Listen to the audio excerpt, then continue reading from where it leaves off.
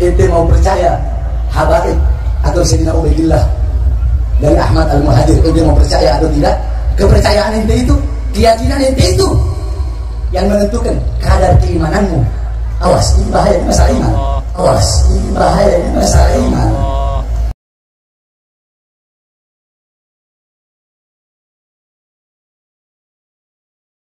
Ente mau percaya habaib atau Sayyidina Ubaidillah dari Ahmad Al-Muhajir ente mau percaya atau tidak? Kepercayaan ente itu keyakinan ente itu yang menentukan kadar keimananmu.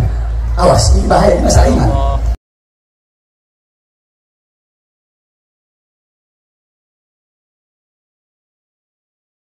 Itu yang menentukan kadar keimanan.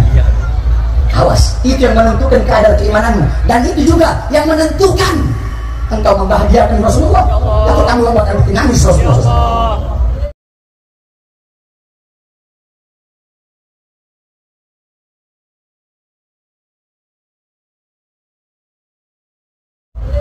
yang menentukan. Kau bakal bahagia dunia celaka dunia bahagia akhirat atau celaka akhirat.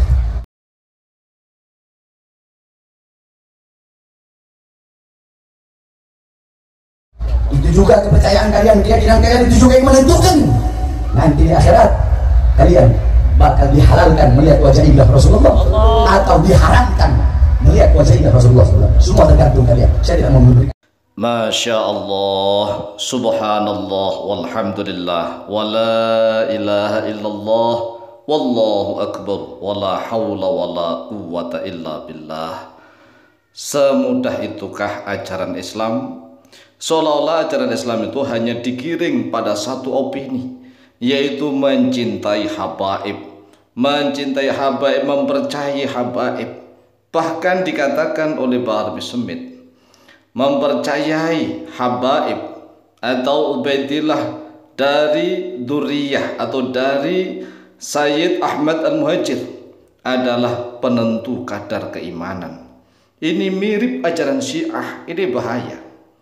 Jadi inilah orang-orang Syiah terdahulu telah menggiring opini kaum muslimin sehingga gulu kepada Ahlul Bait, berlebih-lebihan kepada Ahlul Bait.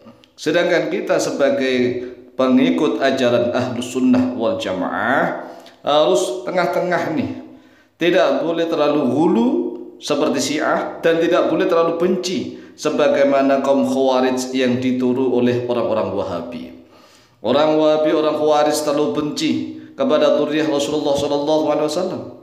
Sedangkan orang-orang syiah terlalu gulu berlebih-lebihan mendewa-dewakan duriahnya Rasulullah Wasallam. I'lam, ketahuilah anna syi'ata ya'takiduna anna syartul imani yutawaqqafu 'ala al-i'tiqadi bi imamatil a'immatil ma'sumin ba'da nabi sallallahu alaihi wasallam. Ketahuilah bahwa sesungguhnya Syiah ya'takiduna yaitu beriktikad oleh orang-orang Syiah. Anna syartul imani bahwa sesungguhnya syarat iman, syarat keimanan yutawaqqafu yaitu dihentikan al-i'tiqadi atas kepercayaan keyakinan bi imamatil a'immatil maksumina yaitu pada kepemimpinan para imam yang maksum Badan Nabi Wasallam setelah Nabi Muhammad Wasallam. Kalau orang-orang ahlus sunnah jamaah tidak tidak meyakini adanya iman kepada pemimpin imam, imam pemimpin yang maksum tidak. Tetapi kalau orang Syiah wajib wajib mengimani adanya imamah kepemimpinan a'immatul al-maksumin yaitu para pemimpin yang maksum setelah Nabi Muhammad sallallahu alaihi wasallam. Wal ma'na khas wa al-i'tiqadu bi imamatil a'immati al-ithna asyar. Makna secara khusus yaitu meyakini, mempercayai adanya kepemimpinan a'immah, pemimpin ithna asyar yaitu pemimpin yang 12. Sebenarnya Syiah ithna asyara ini juga berbeda dengan Syiah yang lain. Karena Syiah sendiri itu menurut penelitian para ulama itu sudah terpecah-pecah lebih dari 40 golongan. Hanya Syiah saja. Hanya Syiah saja belum ditambah dengan kelompok-kelompok firqah-firqah golongan-golongan umat Islam yang lainnya. Hanya Syiah saja sudah terpecah-pecah lebih dari 40 firqah kecil-kecil. Lah firqah-firqah di antara Syiah sesama Syiah itu saling kafir mengkafirkan, saling menghalalkan darah di antara mereka. Apalagi kalau di luar kelompok Syiah, masya Allah. Lah kalau Syiah ini ajaran Syiah menyebar ke Indonesia sangat bahaya sekali. Bisa merusak keutuhan dan persatuan negara kesatuan Republik Indonesia. Ini sangat bahaya.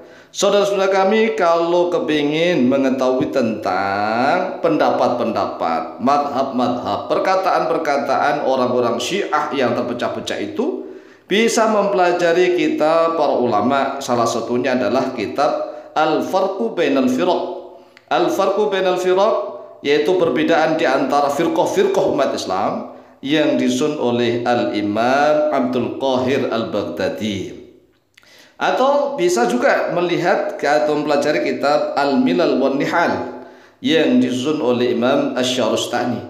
Di situ banyak sekali ya pendapat-pendapat orang-orang Syiah yang luar biasa mengkhawatirkan, menyesatkan kepada umat Islam. Sedangkan Bahar bin Semit mengatakan di dalam bahasa Arabnya begini, Inna qadral imani yuta'allaqu bil habaib aw bi ay bi annahu min awladi Sayyid Ahmad Al-Muhajir. Sesungguhnya kadar keimanan itu digantungkan kepada para habaib atau kepada Sayyid Ubaidillah. Bahwa sesungguhnya Sayyid Ubaidillah atau para habaib itu min awladi Sayyid Ahmad Al-Muhajir dari putranya Sayyid Ahmad Al-Muhajir ini adalah kadar keimanan masalah keimanan Masya Allah hadha ilitiqadu bid'atun madmumatun dolalatun ini adalah akidah, kepercayaan, keyakinan yang bid'ah. Bid'ah madmumah yang tercelah. Dolalah yang sesat. Jadi ini bid'ah yang tercelah yang menyesatkan. Karena bid'ah menurut ahlus sunnah jamaah ada dua. Ada dua, ada yang bid'ah sayyi'ah, ada bid'ah hasanah. Ada bid'ah madmumah dan ada bid'ah mahmudah. Dan bid'ah yang iktikot itu pasti dolalah.